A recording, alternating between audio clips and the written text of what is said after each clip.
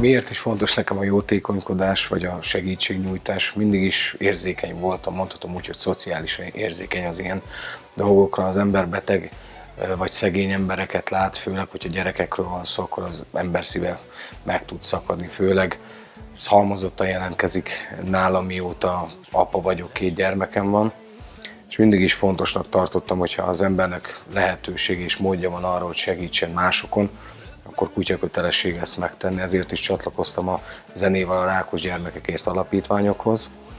Most év végén lesz egy nagyszobású koncertünk, melyben az UNICEF-nek gyűjtünk pénzt.